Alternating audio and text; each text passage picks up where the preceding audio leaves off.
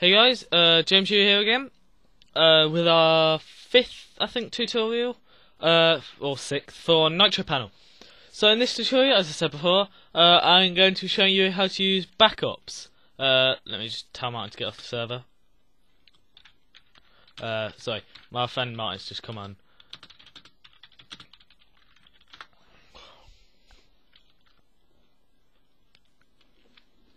So, um, so in this tutorial, I'll be showing you how to use the backups, which is a really handy feature that NitroPan has put in. Uh,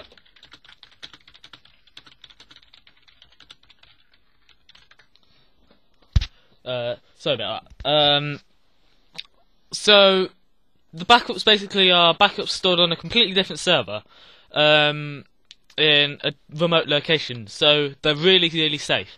Um, but yeah, good. Um, so what they do is they basically back up your whole server. So even if you accidentally delete your server, your server gets broken in some way, or it gets nuked, the whole uh, data center, you'll still have all your files on your backup, which is really a nice feature. Um, so let's go to the backup manager. So you'll see I've already got the backups from uh, the servers I'm actually using uh, when I'm not recording. So 21.8 megabyte. Let's just see when was that created. Yeah, I can get rid of that. That was made last month. Uh, so we'll just delete that. So you can only have five backups at a time, which is like decent considering I'm only paying about five pounds a month for this server. Um, so I'm paying a pound a backup.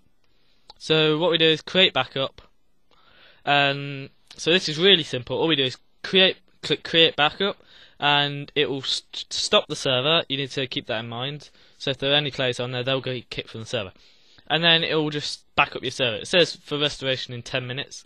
That's only if you have quite a big server. So it's pretty much, I think, done now. Yeah. So it is 9.5 megabytes. So so that so you can do a public download uh, so it will set up a public download link, which is what people can go to. Uh, so you could give someone that link and they could download the server. Or you could do a private download, which just downloads it right here. Uh, and then you can also restore or delete to your backup. So restore is just put everything back. Uh, so yeah, that's how you use the backup system. Well, if you have any questions, tell me in the comments. Um, be sure to like and subscribe if you've enjoy, been enjoying these tutorials or you found them useful in any way. Um, so, thanks for watching, guys. Uh, see you next time when uh, I will be showing you how to use scheduled tasks. Let's do that. So, bye.